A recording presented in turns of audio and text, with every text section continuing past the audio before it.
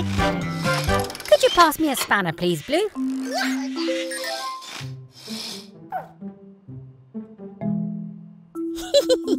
That's not a spanner, Blue.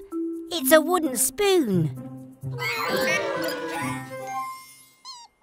Hmm. Sounds like baby truck. I wonder what all the excitement's about. Presenting Wilbur T. Weasel's new electromagnet. Oh, oh! How do I turn it off? Oh, oh! Whoa! Oh no! Mr. Weasel's got magnet trouble. Everything's fine, Gecko. Uh, if you could just switch off the power by turning that bolt. Blue, stop! A magnet attracts anything made of metal. Oh,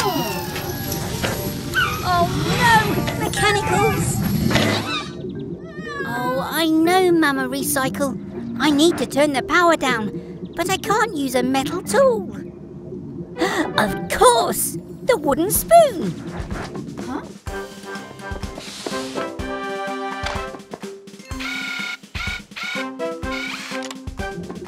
It's okay, friends. I'll free you soon. With a tool I made from a wooden spoon. Ah, that's not going to work. ah, aha.